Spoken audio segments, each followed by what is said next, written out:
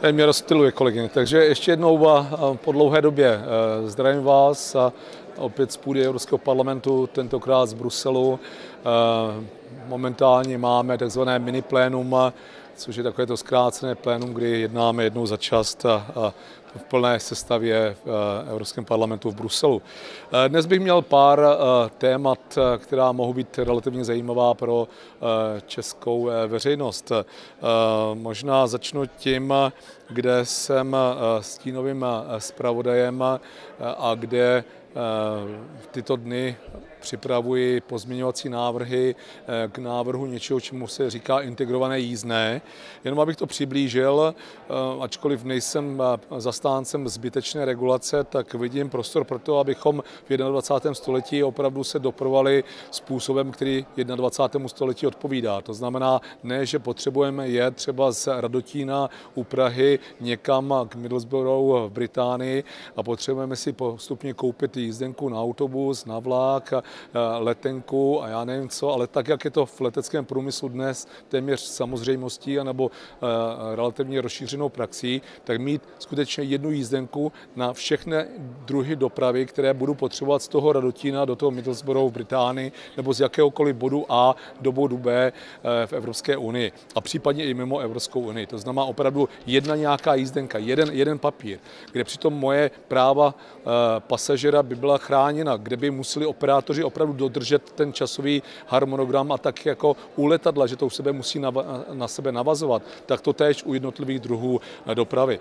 Je to možná trošku sci-fi v tuto chvíli ještě, ale myslím si, že je na nás, abychom vytvořili podmínky na evropské úrovni k tomu, abychom něco takového v dohledné době docílili, abychom motivovali eh, eh, železniční operátory, autobusovou dopravu a další. Jsem si vědom překážek a také se snažím pojmenovat právě ta úzká hrdla ty překážky, tak abychom věděli, jak je odstraňovat. Někde legislativně, někde možná financemi, někde určitými pobídkami. Takže to je jedno zajímavé téma myslím si, že už někdy na konci eh, května budeme vědět, co se podařilo prosadit a potom vás tím seznámím. Ale určitě pro ty, kteří cestují, chceme dospět k tomuto výraznému usnadnění a já věřím, že to je spojený s inovací a já taky věřím, že to je s business příležitostmi pro celou řadu eh, společností, které se na dopravě podílejí. Druhé téma, které eh, jsme měli zatím ve frakci a nechci to prádlo zatím prát, ale musím říci, že tak, jak jsem očekával, že ne ve všem se s frakcí nebo s většinou vždy musíme shodnout, že přijde jednou toto téma, tak si myslím, že přichází téma imigrace, kde my jako liberální frakce jsme liberální a hodně ctíme eh, hodnoty, hodně, eh, hodně ctíme svobody, práva občanů a tudíž se i třeba na přistěhovalce naše frakce takto dívá.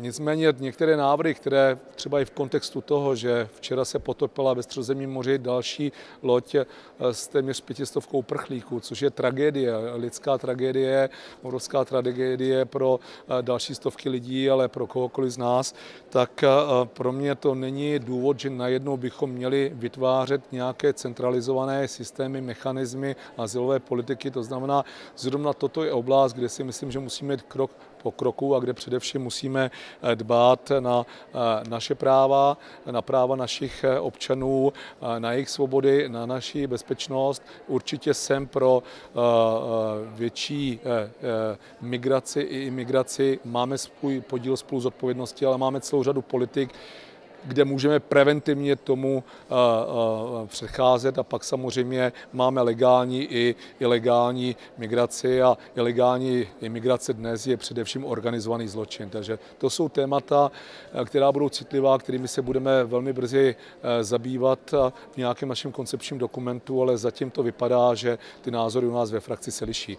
Poslední téma, který bych rád přiblížil, už jsme ho v minulosti zmiňovali. Já jsem říkal, že zpracovávám koncepční materiál pro naši frakci, eh, takže obdobně jako k té imigraci, tak k lepší regulaci a ke snížení administrativní zátěže. Eh, příští týden doufám, že už konečně tento materiál budeme mít a bude obsahovat konkrétní opatření na evropské úrovni, tak i na národní úrovni, jak zlepšit regulaci, jak odbyrokratizovat to, co se dá, jak hodnotit a vyhodnocovat dopady toho, co tady děláme, co přijímáme a snížit tu administrativní zátěž pro podniky, pro zaměstnavatele, pro občany. Takže s tím vás seznámím příště a jenom chci avizovat, že se to blíží k závěru, že jsem na to nezapomněl ani na vás a já věřím, že to bude další impuls ekonomickému rozvoji, ekonomickému růstu a samozřejmě vytváření pracovních míst. Takže děkuji za vaši pozornost. Dneska to bylo možná trošku více a budu se snažit být do budoucna stručnější, ale opravdu vybírám promile toho, co se děje. Možná příště jedno téma a půjdeme do větších detailů, ale budu se těšit někdy znovu na viděnou a naslyšenou. Mějte se hezky.